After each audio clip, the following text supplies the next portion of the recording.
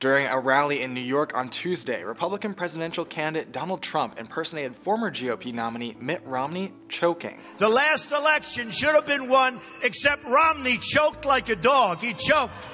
He went, I can't breathe. There's been an ongoing dispute between the two candidates, and it's not the first time Trump has said Romney should have won the 2012 presidential election, like in Maine last month. He's a choke artist. He's an absolute, and I started hitting him so hard. In fact, people say, Why'd you hit him so hard? Because we cannot take another loss. And in New Hampshire in August. Mitt Romney let us down. He should have won that election. He failed. He choked. In the end, no different than a golfer that misses a putt on the 18th hole. Fast forward to Tuesday, and Trump extended that golf metaphor by comparing Jordan Spieth's recent Masters tournament loss to Romney's.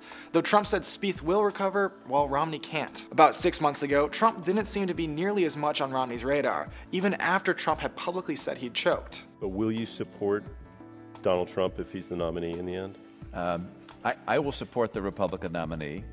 I don't think that's going to be Donald Trump. But last month, Romney outlined criticisms of Trump in an almost 20 minute long speech. Here's what I know Donald Trump is a phony, a fraud.